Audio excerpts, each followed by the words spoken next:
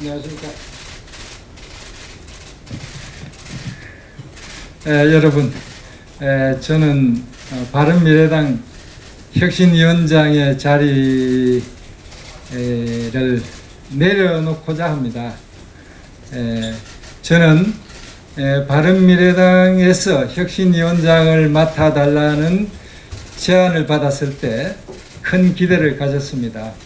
아, 몇 달간의 에, 내홍, 내분을 이제는 어, 멈추고 개파 갈등을 그만두고 어, 미래를 향해서 어, 어떤 비전을 어, 마련하려고 하는구나. 당의 발전 전략을 어, 마련해 달라. 이런 주문으로 어, 받아들였습니다. 이해했습니다.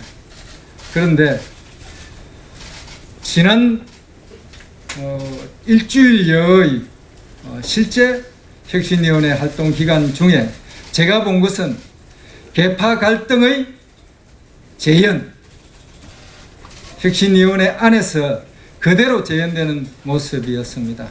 저는 매우 크게 실망했고요. 어, 특히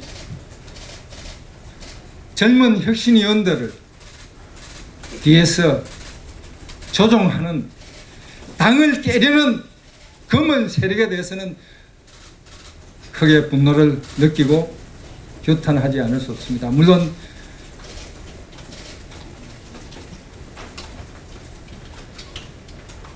제 자신이 어,